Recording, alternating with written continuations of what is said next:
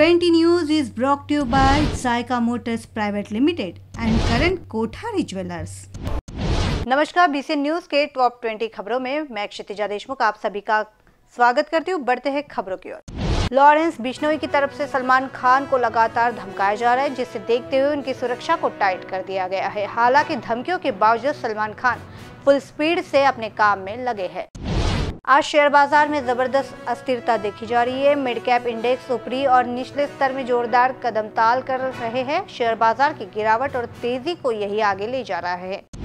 महाराष्ट्र विधानसभा चुनाव में उद्धव ठाकरे गुट को मुंबई में सबसे अधिक 18 सीटें मिलेंगी। वही आम आदमी पार्टी और समाजवादी पार्टी को भी सीटें दी जाएगी। महाराष्ट्र के नागपुर में पुलिस ने सेना के एक जवान को गिरफ़्तार किया है। इस पर अपनी प्रेमिका की हत्या का आरोप लगा है। दिवाली पर ज़बरदस्त जश्न की तैयारी में जुटे मुंबई के लोगों को मायूसी हो सकती है। दरअसल मुंबई में आसमान में लालटेन उड़ाने पर बैन लगा दिया गया है।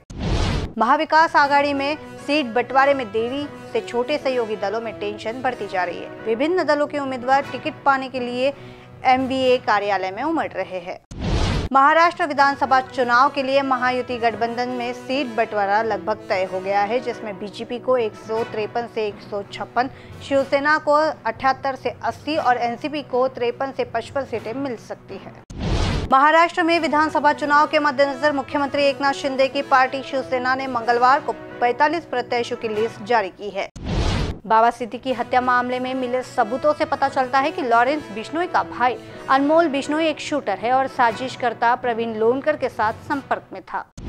कांग्रेस महासचिव प्रियंका गांधी वाड्रा केरल की वायनाड लोकसभा सीट से चुनाव लड़ेंगी, इसके लिए वो आज नामांकन करेगी।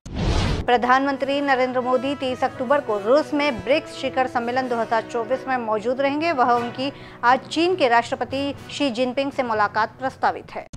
महाराष्ट्र के मुख्यमंत्री एकनाथ शिंदे गुवाहाटी एयरपोर्ट पर पहुँचे। वह आज कामाख्या मंदिर जाएँगे।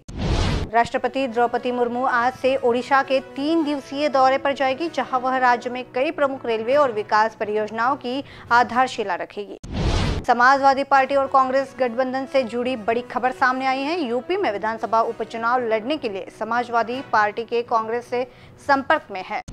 बांग्लादेश में प्रदर्शनकारियों ने कल देर रात राष्ट्रपति भवन, बंगा भवन को घेर लिया और राष्ट्रपति मोहम्मद शहाबुद्दीन के इस्तीफे की मांग की। बेंगलुरु में निर्माणाधीन इमारत ढह गई है, अब तक पाँच शव बरामद किए गए, पाँच लोग घायल हुए हैं। दिल्ली के वसंत कुंज इलाके में एक घर में रहस्यमय विस्फोट होने से चार लोग घायल हो गए। उपराज्यपाल मनोज सिन्हा ने जम्मू कश्मीर विधानसभा के अध्यक्ष चुनाव के लिए सोमवार यानी 4 नवंबर 2024 की सुबह साढ़े दस बजे का समय तय किया है।